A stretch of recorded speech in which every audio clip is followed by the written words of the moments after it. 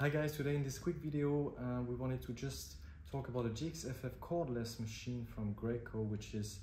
one machine which is not sold with a whip hose for example and one which is perfectly working with it that we will advise you is the 25C827 that you can find in our shop which is a DN3 diameter and 90 centimeter long whip hose and which will help you to really get the best finish you can have on the job site because you will be a lot more flexible between the different surfaces that you need to paint. So think about it next time you you are interested in this type of machines because it's not um, genuinely given with it and it's really a great plus.